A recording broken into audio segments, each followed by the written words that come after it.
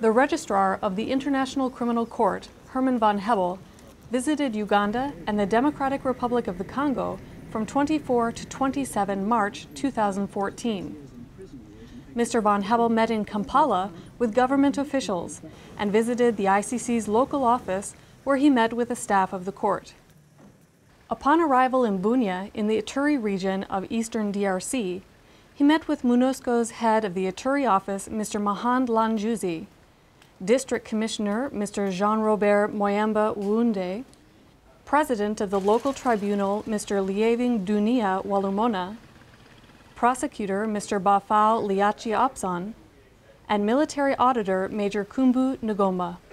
Several issues were discussed during these meetings, including cooperation and complementarity between the ICC and national authorities. The ICC Registrar expressed the Court's gratitude for the authorities' continued support for the ICC's activities in the region.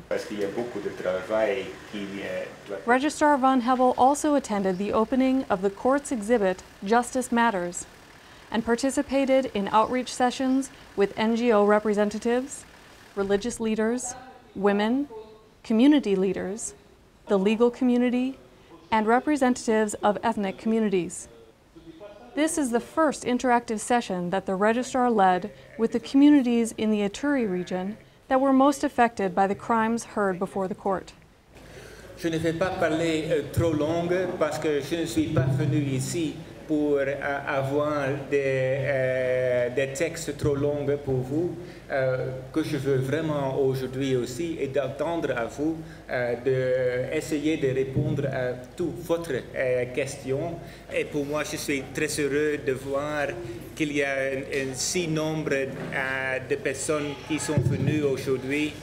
This session, organized by the Outreach Unit of the ICC, is part of the Court's continued efforts to provide to the affected communities information about the proceedings at the Court.